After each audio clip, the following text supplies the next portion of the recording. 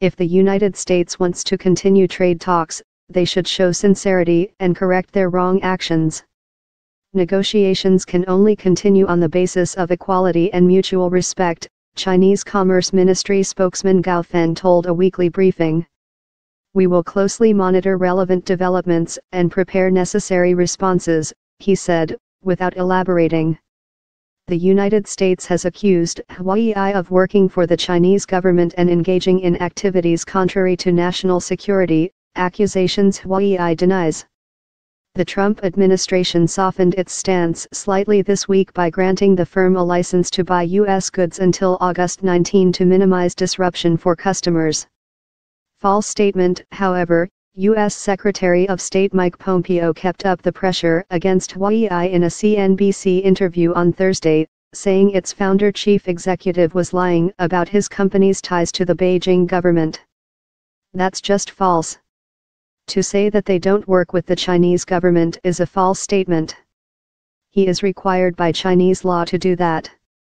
The Huawei CEO, on that at least, isn't telling the American people the truth, nor the world, Pompeo said. Pompeo said he expected other American companies to cut ties with Huawei as the risk of doing business with it becomes clear.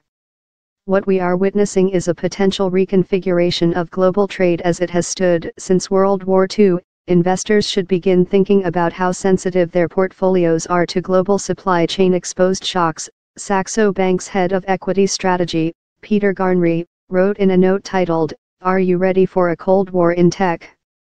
Huawei founder Ren Zhengfei told Chinese financial magazine Caixin on Thursday that he did not see ARM's decision to suspend business with Huawei as having an impact on the company.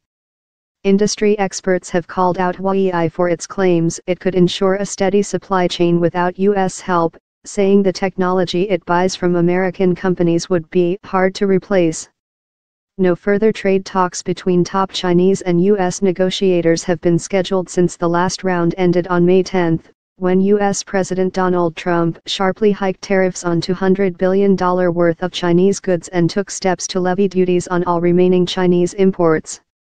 China has retaliated with its own levies on U.S. imports, but it was Washington's subsequent move against Huawei that took the trade war into a new phase, stoking fears about risks to global growth and knocking financial markets.